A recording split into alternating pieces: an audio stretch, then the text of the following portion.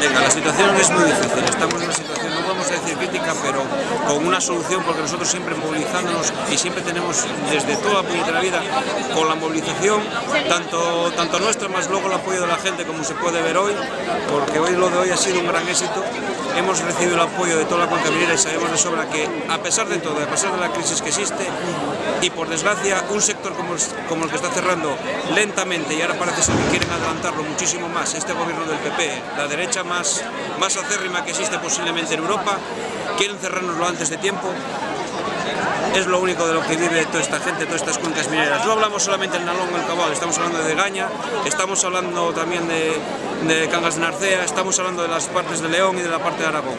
Por lo tanto, hoy ha sido un gran triunfo. Probablemente esto que vayan tomando nota de que probablemente la hostia que les van a pegar posiblemente tarde o temprano, ya sean elecciones en otros sitios, que vayan tomando nota.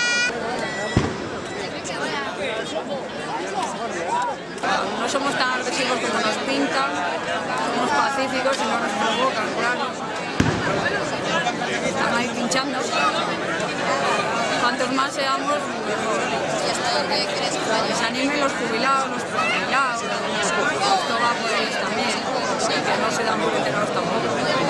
¿Cómo va a seguir la situación? ¿Seguís, pensáis seguir? movilizándonos y seguimos haciendo cortes, en Oviedo la acampada y, y a luchar hasta ver si llega un maldito acuerdo ya y no es todo quitarnos a nosotros también.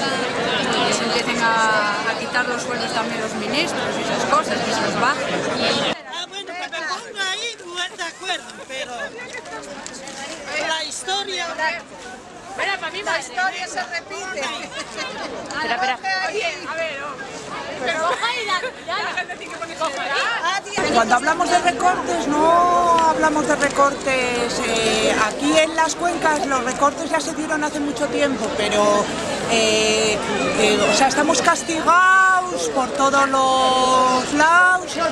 Está los recortes en educación, los recortes en sanidad, que va a llevar a una merma de población importantísima, más todavía de la que hay y aquí no, no hay futuro de nada, o sea, al lado del carbón, y ya no hablamos de que se mantenga el carbón, sino que se den alternativas a todo lo que son la- las medidas y los acuerdos que había hasta el 2018.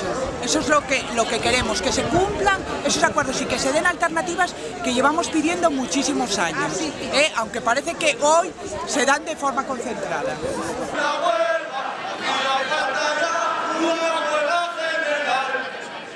Tienen futuro, o sea, no hay sectores que tengan futuro aquí, no hay ningún sector que tenga futuro, porque aquí todos, directas o indirectamente, vivimos eh, de la minería.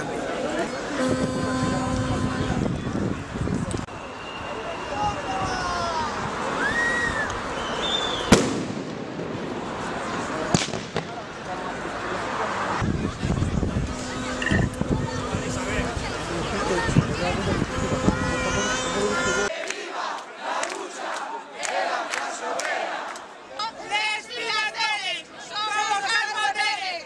Les Pilateres, somos carboneres. Les Pilateres, somos carboneres. Les Pilateres.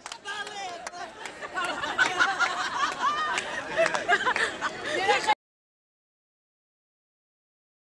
críticas que hay para mí son porque no conocen la mía.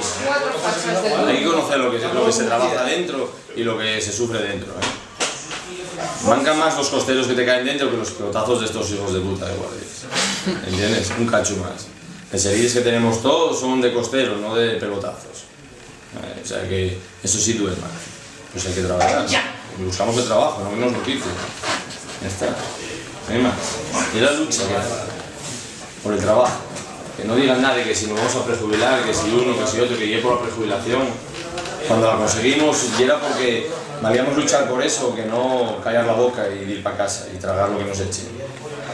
La mayoría de los mineros, a lo mejor, siguiendo hasta los 65 años como en otras empresas, a lo mejor no llegaban a prejubilarse, a jubilarse, perdón. Porque a lo mejor habían muerto silicosos o de un accidente.